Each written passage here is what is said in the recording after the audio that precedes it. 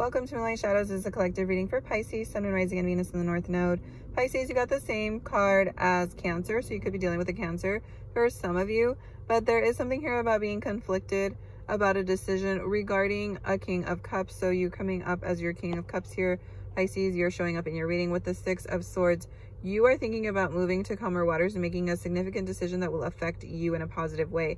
And whatever choice you make will be a positive outcome because with the Six of Swords, if there was any stress, I feel like you are moving away. So if you're dealing with a Cancer, the Cancer is stressed out and you Pisces will be um, more happier with the Six of Swords, vice versa. You could also be dealing with an air sign because swords are Gemini, Libra, Aquarius. Take what resonates.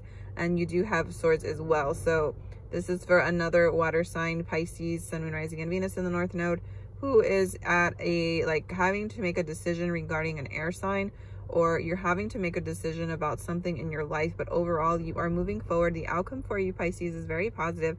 If you feel conflicted about a decision i feel like you could be dealing with an air sign who's going to help you overcome this but overall the outcome is positive for you pisces because you have the six of swords which is victory the stress will go away things will get better you might move away from the situation or connection literally or just emotionally and energetically but overall the outcome is very positive for you.